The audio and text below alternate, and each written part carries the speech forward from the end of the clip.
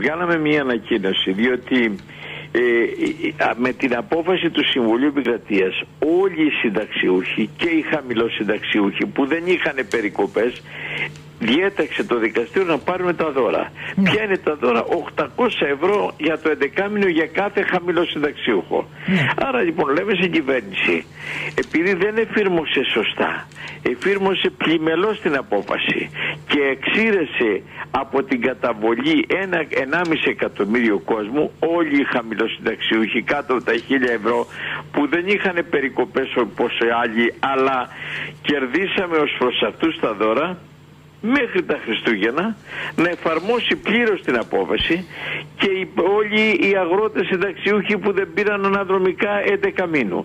Όλοι οι χαμηλοσυνταξιούχοι που χάσανε το ΕΚΑΣ που δεν πήραν αναδρομικά 11 μήνου. 9 στους 10 αναπήρους μας που δεν πήραν αναδρομικά 11 μήνου. Και 9 στις 10 χείρες που λέγω χαμηλότητας της σύνταξης ναι. δεν πήραν αναδρομικά 11 μήνου, αλλά διέταξε το δικαστήριο όλοι αυτοί να πάρουν το 800 τα δώρα, τόσο είναι για ένα έτος τα δώρα, να τα πάρουν και να τελειώσει η αδικία σε βάρος των χαμηλοσυνταξίουχων. Αυτό λέμε και μέσα από την εξαιρετική εκπομπή σας λέμε η κυβέρνηση να το εφαρμόσει οπωσδήποτε διότι παρανομεί. Δεν είναι χάρισμα στους χαμηλοσυνταξίουχους.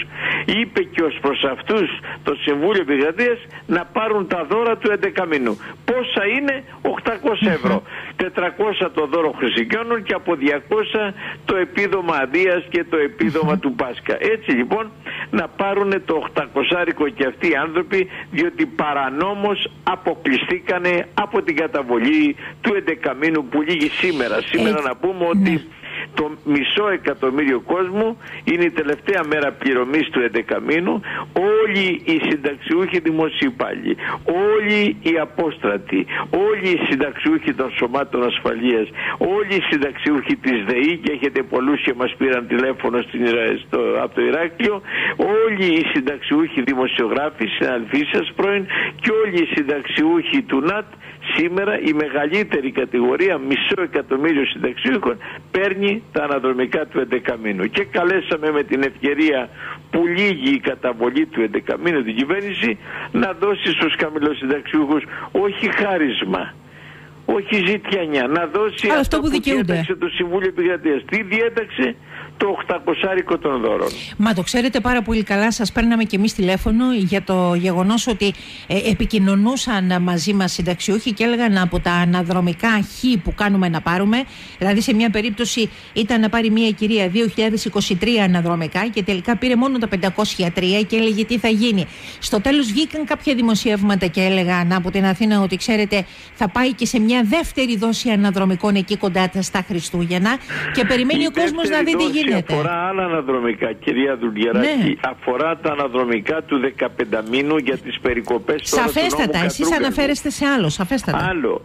Είναι ε, για, για τα λιψά και τα ψαλιδισμένα αναδρομικά που λήγουν σήμερα, τελευταία μέρα καταβολής, έχουμε επεξεργαστεί στην Επιστημονική μας Ένωση, εξυπακούεται δωρεάν, να την κατεβάσουν μια αίτηση θεραπείας που εντός διμήνου από την ίσπραξη, εντός διμήνου από την ίσπραξη, πρέπει να καταθέσουν την αίτηση θεραπείας που επεξεργάστηκε η ΕΝΙΠΕΚ, enipec.gr, μπαίνουν μέσα οι ακροατές μας, την κατεβάζουν, την, την πρωτοκολούν στον ΕΦΚΑ και λένε αυτά τα οποία νομικά υποστηρίζουμε εμείς την αίτηση για να υπάρξει απάντηση από τον ΕΦΚΑ. Ποιοι όλοι που έχουν ψαλιδισμένα ή που έχουν λανθασμένα αναδρομικά. Αίτηση θεραπείας της ENIPEC enipec.gr την καταθέτουν και αναμένουμε τι θα πει η κυβέρνηση.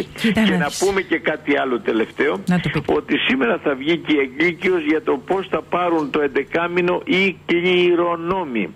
Επειδή από τις περικοπές μέχρι σήμερα απεβίωσαν περίπου 173.000 συνταξιούχοι, οι κληρονόμοι τους περίπου 300.000 θα κληθούν μέσα στις μέρες με εγκύκιο να εισπράξουν και αυτοί προσκομίζοντας τα πιστοποιητικά που τους απαιτεί ο νόμος. Εξίσου ενδιαφέροντα σαφέστατα και τραγικά είναι αυτά τα οποία γράφεται και επισημαίνεται αναφορικά με το κατά πόσο είναι μειωμένες οι νέες κυρίες συντάξεις. 16,5% κάτι που δεν λέγεται. Απλά βάζουμε τα καλά από την πλευρά του Υπουργείου Εργασίας και λέμε ότι δίνουμε μέσω του ΙΕΦΚΑ περισσότερες συντάξεις. Κυρία Δουλιεράκη, ακόμη σήμερα και αυτό το σύστημα το κρατάει δυστυχώς και ο νόμος, ο νέος νόμος Βρούτσι, ο νόμος 46 ξεπατήκωσε το όλο το νόμο Κατρούγκαλου ως προς το ύψος των συντάξεων και έτσι όλες οι συντάξεις που βγήκανε τον Οκτώβριο, τον Οκτώβριο τώρα δεν έληξε Οκτώβριος, τον Οκτώβριο του 2020 από το Υπουργείο του κυρίου Βρούτσι είναι 110 περίπου ευρώ κατά μέσο όρο όλες οι συντάξεις, κύριες συντάξεις, 10.000 και παραπάνω, βγήκαν κατά μέσο όρο 15,5-16% 110 ευρώ κατά μέσο όρο μικρότερες από τις κύριες συντάξεις προ νόμου Κατρούγκαλου. Μιλάμε για έναν Αρμαγεδόνα.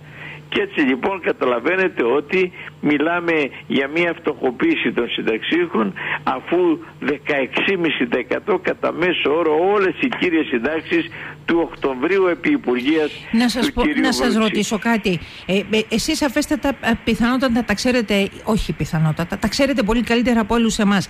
Αυτές οι ερωτικές αλλαγές που φέρνει το νέο εργασιακό νομοσχέδιο παρουσιάζεται σήμερα από τον κύριο Βρούτση στο Υπουργικό Συμβούλιο. Θα τεθεί σε δημόσια διαβούλευση εντός ε, το, το Νοεμβρίου. Περιλαμβάνει ε, πραγματικά πρόνοιες που φαίνεται να ισοπεδώνει τα πάντα στον ιδιωτικό τομέα. Έρχεται αυτό που είπαμε μία ανακοίνωσή μας σε ΕΝΙΠΕΚ Big Bang στο εργασιακό. Οι μεγάλες ανατροπές.